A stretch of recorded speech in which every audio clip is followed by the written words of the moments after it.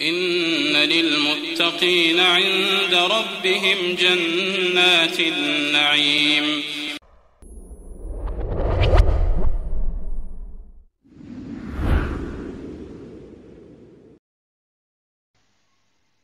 الحمد لله حمدا كثيرا طيبا مباركا فيه كما يحب ربنا ويرضاه. وأشهد أن لا إله إلا الله وحده لا شريك له وأشهد أن محمدا عبده ورسوله صلى الله عليه وعلى آله وصحبه وسلم تسليما كثيرا. أما بعد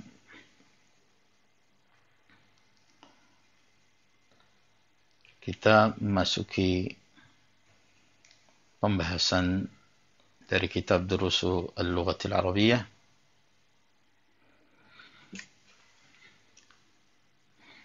pada pelajaran yang keenam.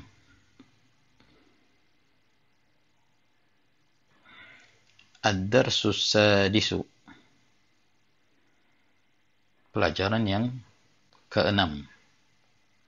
As-Sadis dari Sittatun 6. Kalau dalam penomoran secara berurutan maka disebut as-sadis.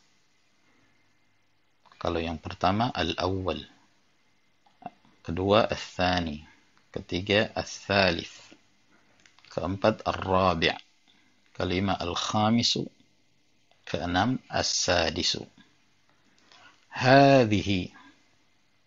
Sekarang kita mempelajari tentang kata isyarat yang muannas yang merupakan isyarat yang dekat yaitu hadhihi.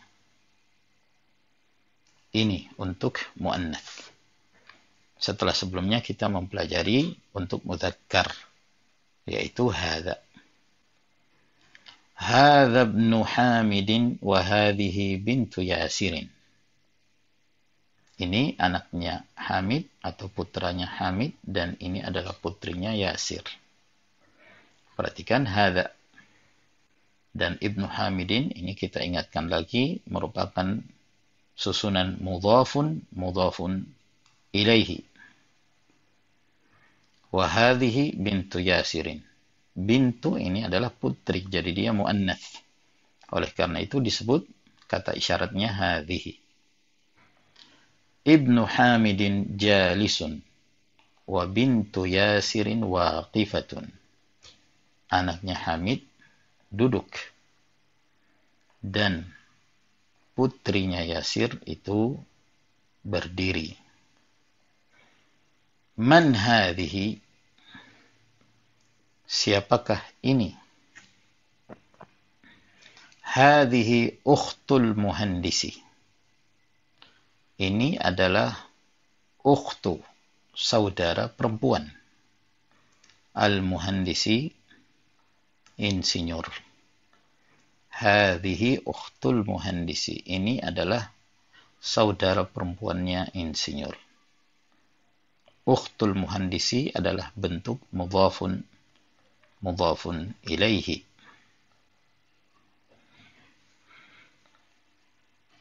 Kemudian Ahia aydan muhandisatun?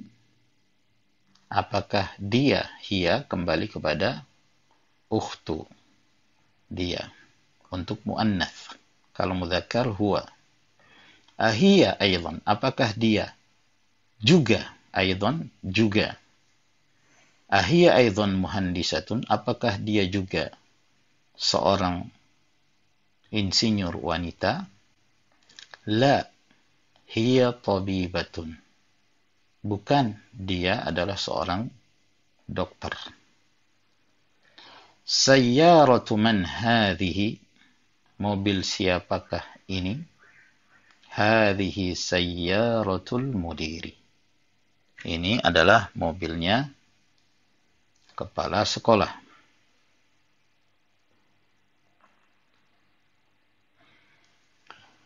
Ma hadhihi apa ini? Maksudnya apa yang terdapat pada gambar ini. Ma hadhihi. Hadhihi mikwatun. Ini adalah setrika. Hanya saja kata mikwatun ini kurang masyhur penggunaannya di kalangan Arab. Biasanya uh, mereka mengatakan kawaya. Namun maknanya sama, yaitu alat yang digunakan untuk menyetrika pakaian.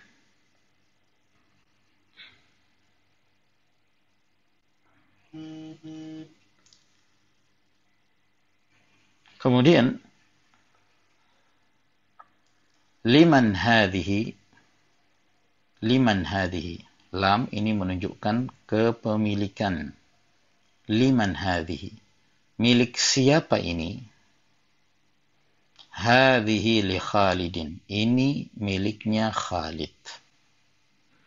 Maksudnya barang yang disebutkan sebelumnya.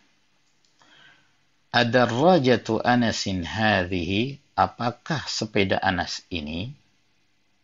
Yang maksud di gambar apakah sepeda Anas ini? Maksudnya apakah ini sepeda Anas? La bukan. Hadhihi darajatu ammarin ini adalah sepedanya Ammar. Darajatu ammarin darajatu anasin ini adalah bentuk mudhafun mudhafun ilaihi. Ini adalah sepedanya Ammar. Hadhihi jadidatun. Ini baru. Maksudnya ini adalah sepeda yang baru. Wadarrajatu Anasin qadimatun. Dan sepedanya Anas itu tua. Lama. Jadi qadimatun adalah lawan dari jadidatun. Jadidatun baru, qadimatun tua. Hadhihi sa'atu aliyin. Ini adalah jamnya Ali. Sa'ah di antara maknanya adalah jam. Ini adalah jamnya Ali. Hiya jamilatun jiddan.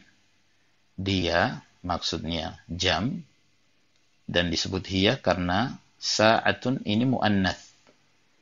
Karena diakhiri dengan tak marbutah. Tak marbutah, tak yang melingkar itu merupakan tanda muannathnya sebuah kata atau sebuah isim.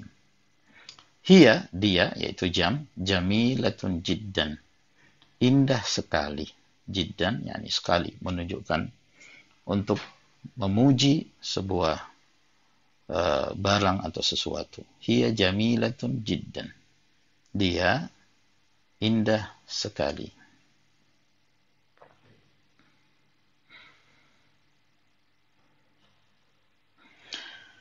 Hadhihi mil'aqatun wa hadhihi qidrun. Ini mil'aqatun sendok. Wa hadhihi dan ini qidrun bejana. Al mil'aqatu fil qidri. Sendok itu di dalam bejana. Hadhihi baqaratul fallahi. Ini adalah sapi betinanya petani petani disebut al-fallah. Hadza anfun wa hadza famun. Ini hidung dan ini mulut. Ini hidung dan ini mulut. Perhatikan perbedaan penggunaan antara hadhihi dengan hadza. Hadza anfun karena anfun mudzakkar. Hadza famun karena famun juga mudzakkar. Sedangkan baqaratu ini muannath sehingga disebut hadhihi.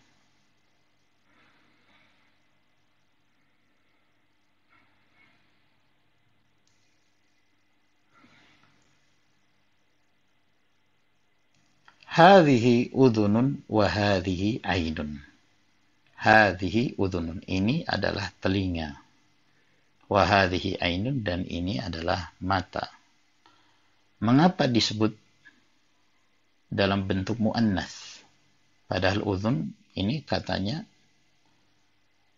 ya merupakan bentuk mudzakkar. Dalam bahasa Arab setiap yang berpasangan itu dihukumi muannas. telinga ada dua sehingga dia berpasangan maka dia muannas hadhihi udhunun demikian pula mata wa hadhihi ainun mata berpasangan maka disebut hadhihi wa hadhihi yadun. Dan ini adalah tangan. Tangan juga berpasangan maka dia muannas hadhihi. Wa hadhihi rijlun. Dan ini adalah kaki. Kaki juga berpasangan sehingga disebut dalam bentuk muannas. Hendaknya kalimat-kalimat ini diulang-ulangi ya agar kemudian kita terbiasa mengucapkan setiap dari kosakata yang telah kita pelajari. وصلى الله على نبينا محمد وعلى آله وصحبه وسلم تسليما كثيرا والحمد لله رب العالمين.